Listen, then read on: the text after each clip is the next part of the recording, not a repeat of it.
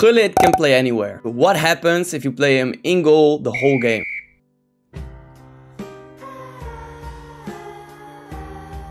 Gullit! oh my god. Nah. Gullit. Well, I think that answers your question.